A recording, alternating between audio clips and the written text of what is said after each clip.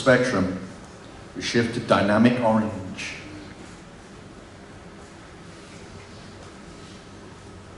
And with it comes Madhavi Tiwari's poem, A Boy and a Girl.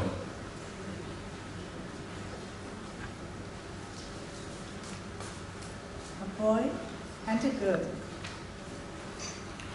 This story needs to be written of a boy and a girl looked the other way for 40 years, kneaded, blanched, cooked, savored their passing years, gave their hearts to some and then took it back, ventured with their hopes or squashed some dreams, played to the gallery of life, collected some accolades, binned some memories.